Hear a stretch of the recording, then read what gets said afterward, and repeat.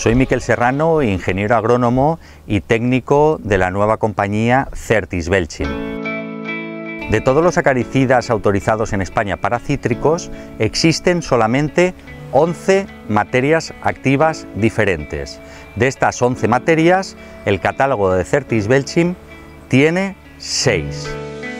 Si hablamos de mecanismos de actuación, de cómo atacan los acaricidas a esta plaga, existen únicamente siete mecanismos de actuación diferenciados.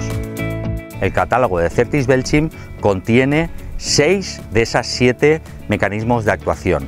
Hablamos de acaricidas clásicos, acaricidas convencionales, como coromite, dinamite, aguar, césar o nisorum y hablamos de acaricidas biorracionales en la línea de las nuevas herramientas que tenemos en la agricultura como pueden ser Botanigard, como pueden ser Sonar, productos de alta eficacia para la agricultura del futuro.